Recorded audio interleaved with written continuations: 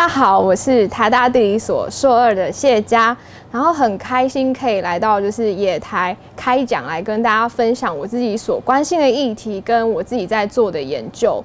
那我的研究其实会去各个台北市的，就是公园去抓一些地表的昆虫，跟一些还会挖土回来分析土壤里面的微生物，然后来了解他们在就是都市里面所扮演的。角色是什么？可是，在我在挖土跟设陷阱的过程中，其实有很多很多的民众会来问我说：“啊，你在冲啥？你们在干什么？”他说：“挖土要干嘛？里面有什么东西？”然后在这跟这些民众互动的过程中，我就发现，其实，在生活在都市里面的人，他们其实已经习惯把都市看成是一个只有人生存在里面的一个场域。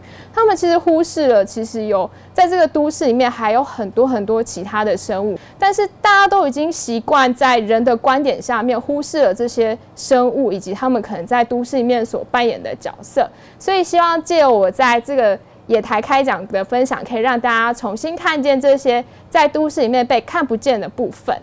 谢谢大家。